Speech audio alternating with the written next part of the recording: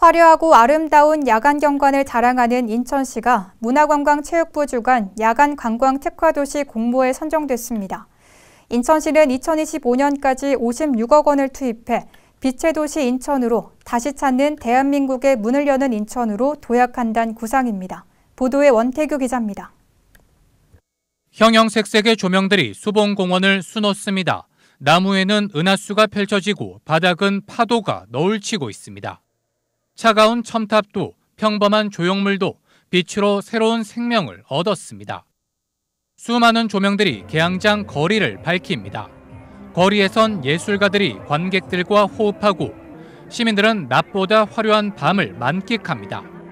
인천이 가진 야간 경관의 모습입니다.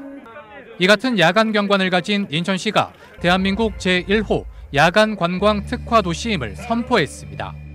앞서 시는 문화관광체육부 주관 야간 관광 특화 도시 공모에 선정됐습니다. 19세기 대한민국의 문을 열었던 개항도시 인천은 이제 다시 찾는 대한민국의 문을 여는 빛의 도시 인천으로 변신합니다.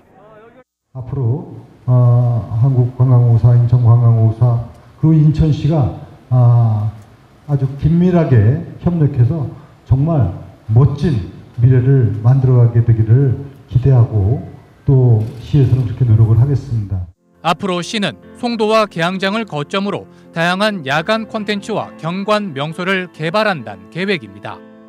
오는 2025년까지 국시비 56억 원을 투입해 올 라이츠 인천을 슬로건으로 사업을 추진하고 이후부터 2030년까지는 시 자체 사업을 전개한다는 계획입니다.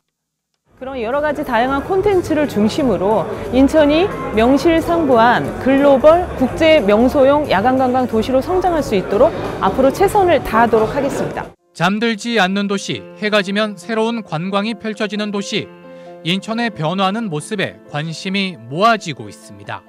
NIB 뉴스 원태규입니다.